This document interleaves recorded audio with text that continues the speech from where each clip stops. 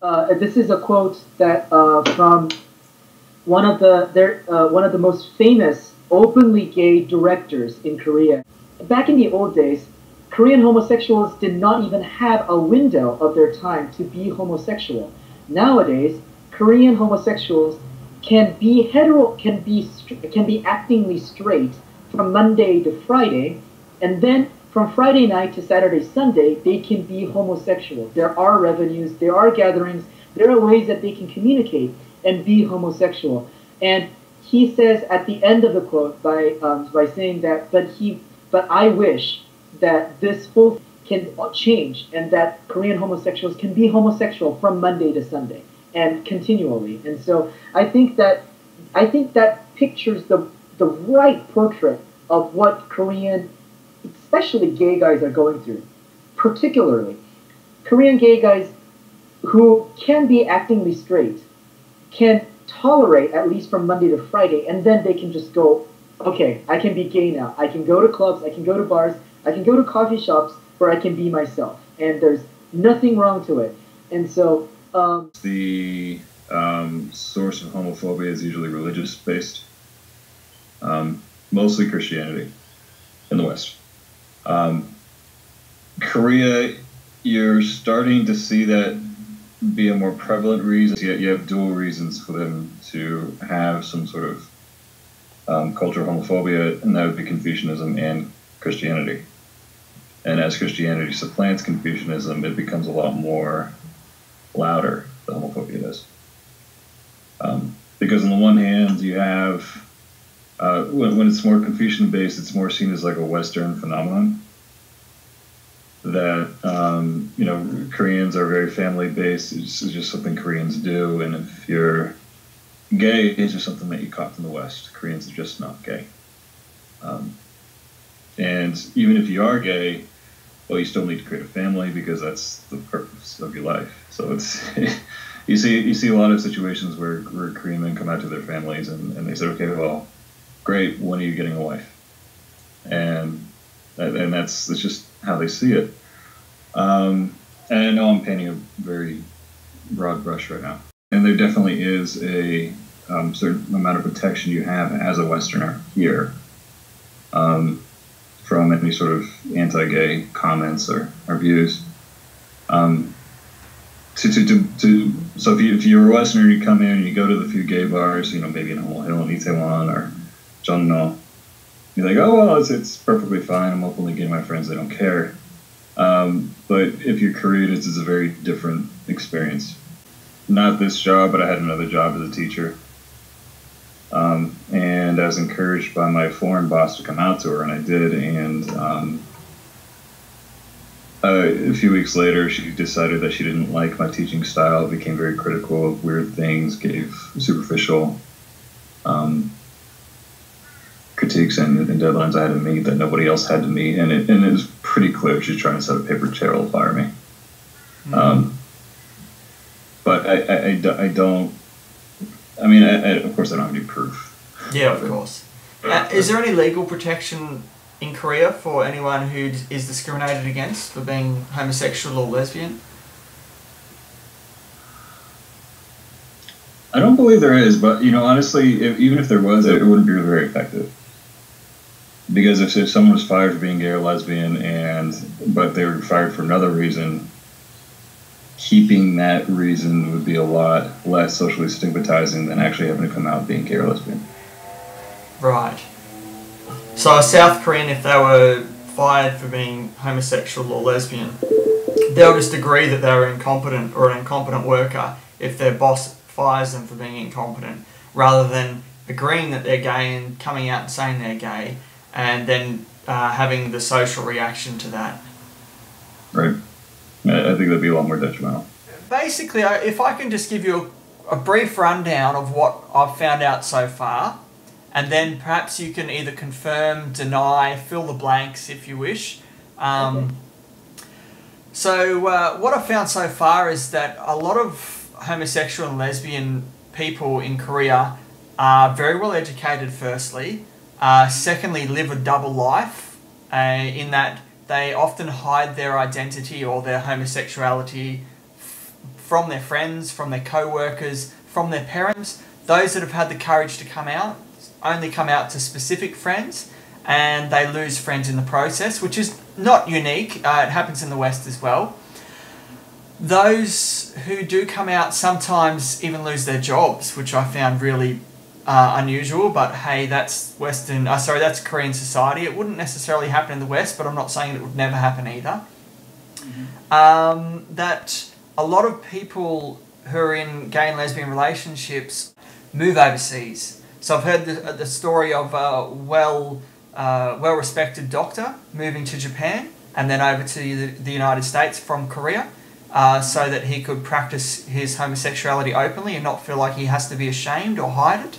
Uh, I've heard several stories of educated men being told they have to marry uh, by their parents, even though that they're they're gay. Uh, they haven't come out to their parents, but uh, one of them has a boyfriend and has had that same boyfriend for eight years. And uh, he's obviously an English teacher in Korea and has to keep renewing his visa I think every 12 months or two years. Uh, so he needs sponsorship. He doesn't have the same rights as a married couple, even though they are married and had a civil union in New Zealand. Um, but his parents still force him to get married, and the mum keeps telling the uh, Western boyfriend, "Can you encourage my son to get married, please?" Uh, even though she suspects that they're in a homosexual relationship. So there's the family pressures there, and that seems to be a consistent story from everyone, female, male. Um, the only people who aren't telling me that, that that is an issue is the 18 and 19 year olds that I've interviewed, who, believe it or not, are the most articulate 18 and 19 year old people I've ever spoken to. I'm serious, and that we're talking bilingual people who who are. Uh, are going to be in positions of power in the future. I can guarantee that. So that's very positive for Korea. But unfortunately, these people all want to study over in America, Australia, the United Kingdom, and Europe because they are tired of hiding their identity and feeling ashamed of who they are. So that's basically where I'm at right now. There's one other thing that I need to mention. We've interviewed a few pastors in churches and they've said that homosexuality is a sin, firstly. Secondly, uh, that homosexuality is something that came from the devil and it's seeking to take over society and destroy humanity. Um, I've also heard somebody say that uh, homosexuals don't deserve human rights uh, because anal sex is not a human right and uh, there's a few other things as well, but I think you get the picture of what a lot of the extreme Christian groups are suggesting. So, with that in mind, can you confirm that, deny that, and share your story as well? Okay, first of all, I confirm everything that you mentioned to be true, and I confirm this by me personally going through the experiences myself, and also I can actually for what I've witnessed, I have been I have been socially out in 2012, uh, being involved in affirming church, being a board member, and also a Korean English translator at an affirm at the affirming church that I've been to. Um, and for that matter, I have seen and I have heard stories, the exact same stories that you've been mentioning. Also, I have been looking into a lot of LGBTQ related articles and they say the same accounts that you have mentioned. So I do confirm every single thing that you mentioned, also including the ones that you mentioned on the opposite side, the accounts from the pastors. And so I do confirm.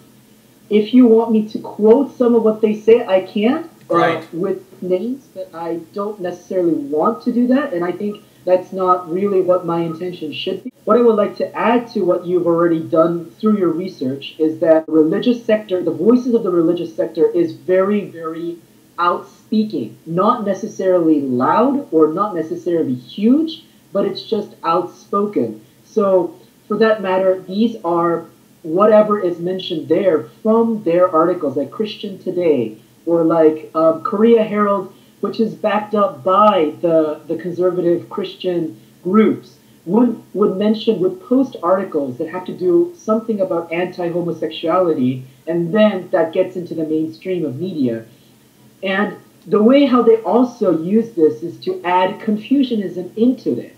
So, for instance, like churches would say that homosexuality is sin, but then there will be pastors that who will mention that it is so wrong. It is against filial piety. It is against how Korean society is working, and is against the norm. So, therefore, for those that who are sons and daughters that who are coming out of the closet, they're saying that you are not doing your duty as a son or a daughter because this is against Confucianistic way of our society, how our society has been woven.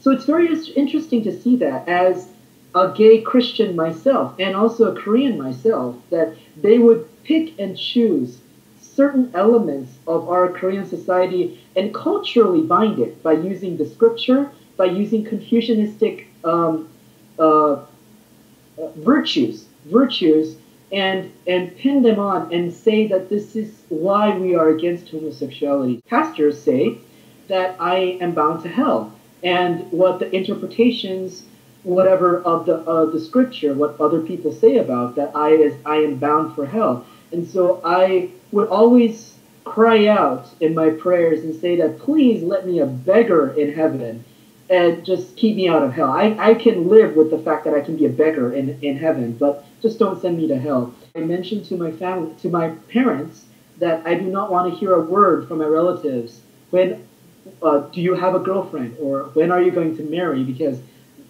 I am now first in line to be married, to be honest. And so, yeah. Um, and my parents asked why, and I mentioned that because I'm not interested in getting married. And then throughout the heat of the moment, I said that I'm gay.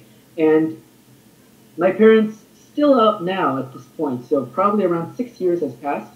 Uh, my parents are still struggling with it, and um, so I came out to my parents, my mom and my dad. I have a younger sister whom I had I haven't came out to. Um, however, uh, the whole story is is that my parents are dealing with the situation, and I am kind of fed up with the whole this tug of war that we have between me and my parents. And so, still, my my parents say, like with messages, that they are praying for me, and they're praying that I can come back. Like come back is a literal word that they're saying. Um, so even though they're not praying the gay away, like as if what a pastor, which I imagine would be more horrific yeah. than what my are doing right now. I think it's the same thing. It's just the degree is just a little different. So yeah, I am with my boyfriend. Uh, and we've been together close to three years. We're living together. We're we're housemates, as how I would explain it to other Koreans. Yes. Homophobia, how I define it. First of all, it's so clean. It's so plainly seen amongst the education sector that the instructors cannot be homosexuals at all to begin with because that's somehow going to teach homosexuality and make them turn into homosexuals uh, in in wherever they are teaching. So that's the reason why for expats there is like a lot of expats even hide they're closeted because they they can't announce themselves and say that oh I'm a specific counselor and I'm studying psychology and counseling right now at the moment and the reason how I even got into this particular sector is because a dear brother of mine, not my biological brother, but a brother of mine, whom I met in church for over a year, he uh, didn't wake up the next day after uh, overdosing um, uh, uh sleeping pills. And um, the reason why I know this is because that it was Christmas Eve that he called me and he called me and said that that he was dealing with his issues and he had like a handful of, of sleeping pills and that he was crying out for help that he was scared and that that he wanted to live. It was basically a crying out call for me.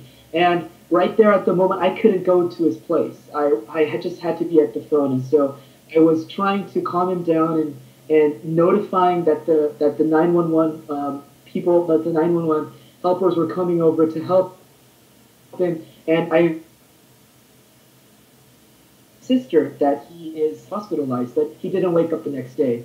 And the reason why he was dealing with these issues was because that he was conflicted with two churches. He went to the church that I was going to, the Affirming Church, and then he had his mother church, whom his pastor and his pastor's wife were very anti-homosexual. His pastor's wife would even cut would, would even ask him to take off his shirt that had a rainbow logo on his shirt, and all it had was a rainbow logo. And the pastor's wife would say, "Take it off," and she would take a pair of scissors and literally shred it, cut it up into pieces right in front of him. And like he was asking her, "Why on earth are you doing this?" And and her uh, her answer was, "Because it represents homosexuals." Involved with that, so you can see that he was dealing with these particular situations. And and to be honest, I would like to say this very boldly that it was the pastor and the pastor's wife's fault that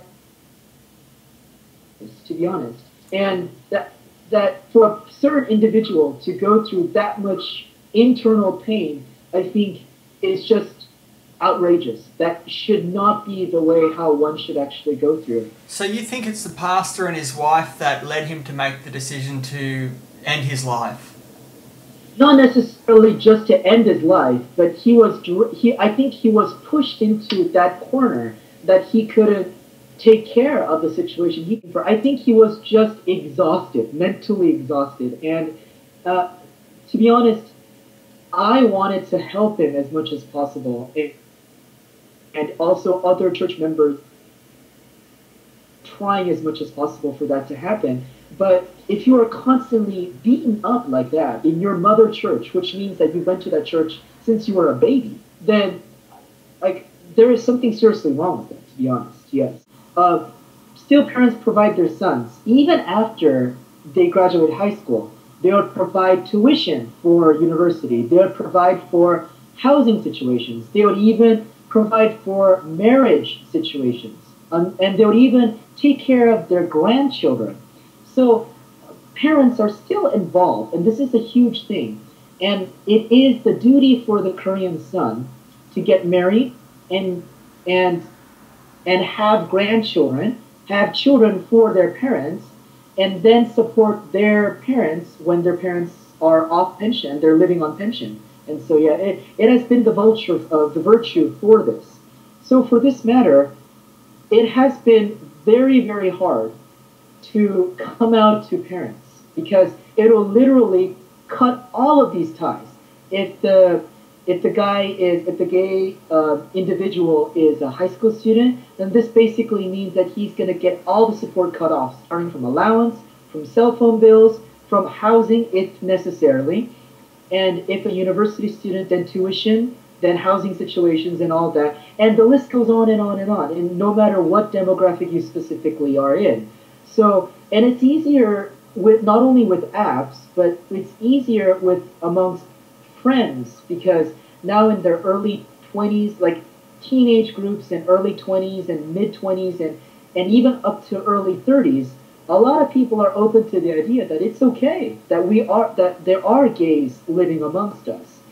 And so it is even more easier to because we still have ties, but if we come out to our parents, then we lose the ties and everything that that kind of supports us. And so it's like cutting off your your support line. And so I think that's the reason why that Koreans are that it would be the last person to come out to, or would be your parents. Yes. I see. And what about the most extreme cases? I've heard of men being forced by their parents to marry a woman knowing that their son was gay and yeah. they hide it from their wife and then pursue homosexual relationships on the side, even though they've got kids and families. Uh, basically, yeah. they're hitting, they're hiding a lifestyle. Yes, exactly. Yes. Also, another extreme that I want to share is that this happened, like this. This happened to a person that I know, that their parents are actually wanting to force to hospitalize their son into a psych ward and to turn him heterosexual through I don't know whatever therapy that they're coming up with. So the ex-gay therapy is existing in Korea, but there, I don't think there is a like an Exodus International kind of a thing in Korea. But there is a pseudo, there is something like that called the Holy Life, which is led by a Korean, uh, Korean Presbyterian pastor, who is very much uh, he himself is also an ex-gay. He he calls himself ex-gay, and he is also leading, being the leader of that ex-gay uh, particular program. But beside that particular program, there are family members that who are using. Um, oh, kut is another thing that they do. Um, how do I translate this? It's um, like calling a shaman and doing like a ritual, like a shaman ritual um, that they do, and they pay lots of money to do this. I've actually heard this. Pay lots of money, and so that the shaman would call out the demon spirit, the, the homosexual spirit, and just make it go away. And so they do that. And also the psych ward is more natural. It's more general, not natural, but it's more general. And so I've heard a lot of threats from families that, that their parents would actually even do that. And so, yeah. So, so far we've got families trying to pray the gay away. They've also got families trying to take them into a psych ward to uh, use some form of therapy, maybe hypnotherapy or something, to try and convince them that they're heterosexual. And then you've got ousting, basically kicking them out of their family. Yes, yes. Cutting them off, as you put it. Yeah, exactly. Um, I can relate, completely relate to those that would say that they just want to get out of Korea because that's exactly the reason. Because of this, there's this this juxtaposition right here in two realms. Whereas if you stay, if as a Korean, gay, if a gay, uh, as a gay man in Korea, that you stay in Korea, then these are the things that you have to face. And then if in the Western realm, that there are like systems, there are support groups, there are there are ways that you can actually be independent on your own. Of course, you'll have to be as a foreigner, but at least like if there if you find the right like ways to do it, there are ways that that you can actually still survive and not be worried about. And I think for that matter that there is this thing. Uh, to me, it saddens me personally that there is this drastic difference within it, and I can relate to those that who are willing to just flee the country and say, I want to get a green card in, in Australia or in America or Canada or, or in a very affirming country where being gay is no longer an issue at all.